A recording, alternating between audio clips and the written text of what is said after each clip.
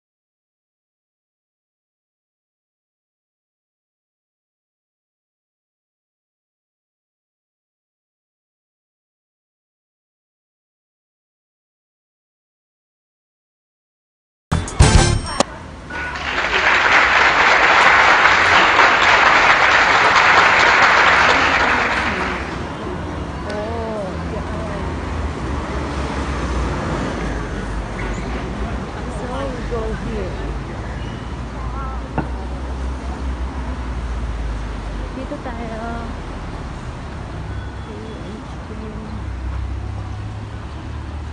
Pauwi na ako. Okay naman. Yung feeling parang ano lang parang missile, parang kagat lang ng langgam. Pero okay din siya. Wala naman akong nararamdaman na side effect. Hindi naman masakit ang ulo ko. Hindi naman. Okay naman.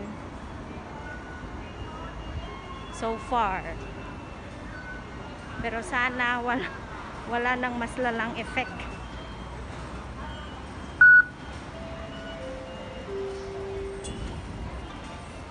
Hong Hong.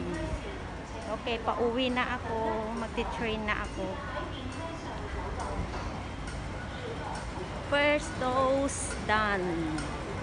Waiting na naman sa aking second dose sa May 27 ulit. Okay, bye-bye.